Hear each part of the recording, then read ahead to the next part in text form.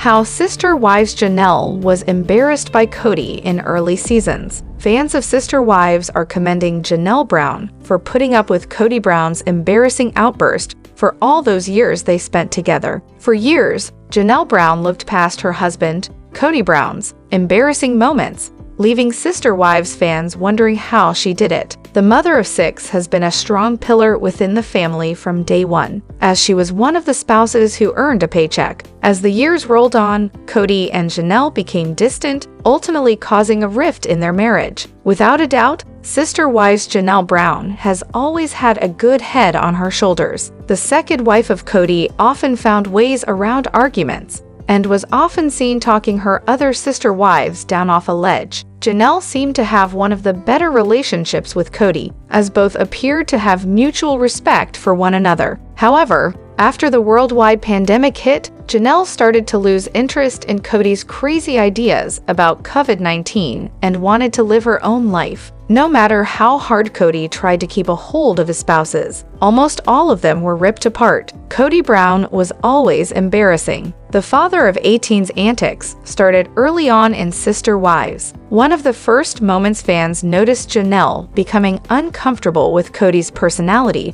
was during season 2, episode 2. Kody had decided to take the entire family back to his parents' ranch in Wyoming, where fans were introduced to his mother, Genelle Brown. During a cringy scene, Kody takes food off her plate and bites into it, telling his wives, Here's the funny thing about a mother what's hers is mine, and what's mine is mine. Janelle Brown was not impressed. In the background, Janelle can be seen pulling a face and walking away after being disgusted her Kody's crude behavior. Kody came across as extremely spoiled and entitled, with another fan writing that it was one of the grossest moments in the show. It seemed that Janelle clocked Kody's me first attitude after that scene and has been taking notes ever since. Janelle announced that she and Kody had split on the latest Sister Wives reunion special. In the beginning, the couple had bonded over their shared interest in worldly education, but as the years dragged on, the two had less and less in common. The latest season showed Janelle unwilling to deal with Kody's selfish behavior any longer as she finally put her foot down and told the patriarch that she wasn't happy. With a new season currently filming, it is Janelle's time to shine away from the shadow of her husband. Let us know in the comments below.